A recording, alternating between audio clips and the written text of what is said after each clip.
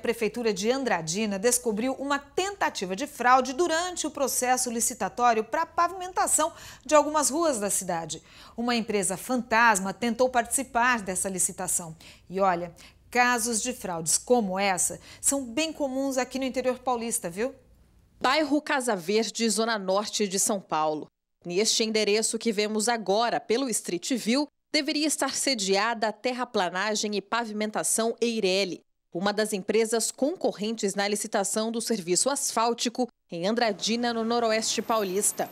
Mas, segundo uma comissão da Prefeitura, após vistoria ao local, foi constatado que se trata de uma empresa fantasma. O endereço constante de, da empresa, de escritório, maquinário, esse tipo de, de máquinas para execução até do serviço de pavimentação, não era o local que correspondia. Não havia no local correspondente a esse tipo de objeto. Então, o município verificou, diligenciou ali nos arredores com outros comércios que tinham ali para saber a real situação daquele endereço e foi apontado que nunca houve nenhuma movimentação em relação a esse tipo de trabalho ou empresa. O interesse da empresa era nos mais de 280 mil reais de recursos fornecidos pelo Ministério das Cidades do governo federal para o asfaltamento em Andradina. Houve contato, não houve nenhuma manifestação por parte da empresa até o momento também e o município está aguardando no prazo para recurso da decisão de inabilitação da empresa no processo. A situação encontrada pela Prefeitura de Andradina não é algo tão raro.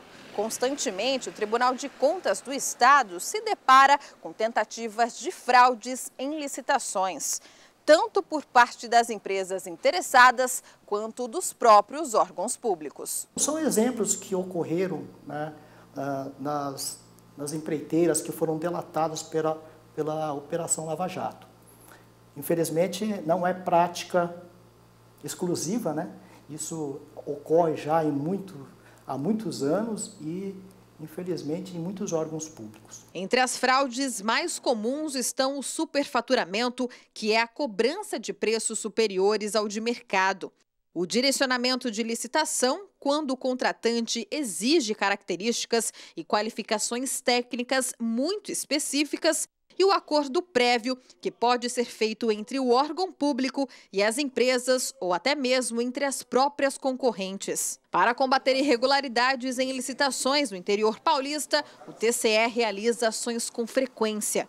Apesar disso, os municípios precisam se prevenir. Previamente, conhecer os detalhes do que está sendo adquirido, né? saber é, dos antecipadamente possíveis fornecedores conhecimento dos fornecedores e essencialmente dos preços que são praticados. Porque se determinada empresa apresentar um preço superior ao que é praticado no mercado, né, é dever da administração desclassificar essa empresa segundo a Lei 866. Pois é, nós tentamos contato com algum responsável pela empresa de terraplanagem e pavimentação Eireli, mas ninguém foi encontrado.